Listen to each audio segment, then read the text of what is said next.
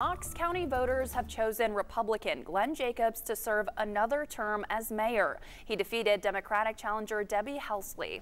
He's up early with us to talk about the win and what to expect in the next four years. Mayor Jacobs, good to see you. Thanks for coming on with us this morning. We know you had a late night. How are you feeling about the win last night?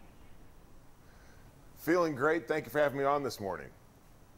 That is wonderful to hear. Now, you have promised time and time again to fight any proposed tax increase for the county. So, what are some of the other issues that you plan to focus on in your second term here? Well, when we look at our land use and the housing crisis that the county's in, that's something that we're really focused on. We have an initiative called Advance Knox, uh, which is designed to really revamp our land use policies, which haven't been looked at and updated in over 20 years. That's really important. As well as the global economy is changing. It's really an innovation driven economy. So, how do we align our workforce, our education system, everything that we're doing with the global economy so that we can remain competitive and do even better when we're competing in that economy? Mayor, people all over the country have been through a lot in the past two years. We're dealing with high inflation, gas, groceries, housing. How will you help Knox County residents navigate all of this as we potentially head toward a recession? Well, I think the most important thing is keeping taxes low. We don't want to add another financial burden on the people of Knox County, as well as ensuring that we have plenty of good jobs here. I think the labor market is going to tighten up quite a bit going forward because of the recession.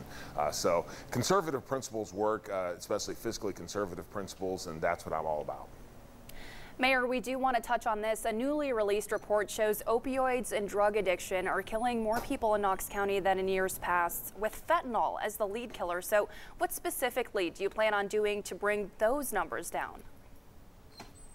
Well, when I first came into office, we launched the All for Knox initiative, which is a community-wide uh, program and alliance uh, to address this issue. This is happening all over the country. Uh, you know, we're seeing fentanyl come in through the southern border. Uh, it's it's very deadly, uh, worse than anything we've ever seen before. And apparently, there's even worse designer drugs coming online.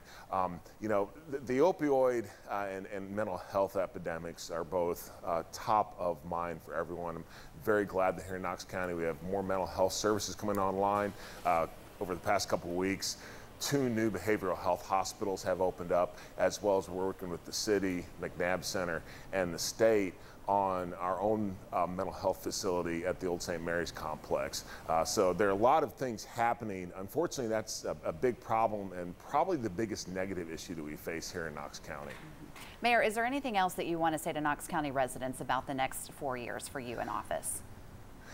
I'd actually like to talk about today. Uh, today is School Mania over at Chilhowee Park from 3 to 6 p.m. Uh, and we'll be giving away free school supplies to Knox County students. So that's at 3, 3 to 6 p.m. at Chilhowee Park. And you know, this is the best place in the world to live, to work, to play, and to raise a family. And over the next four years, we're going to become even better. So no time off for you. You're getting right back to work, work, today. All right. Thank you so much for taking the time to be with us this morning and yeah. congratulations. Thank you so much. Thank you so much. Thank you, Mayor. And we do have to take a quick, quick break. But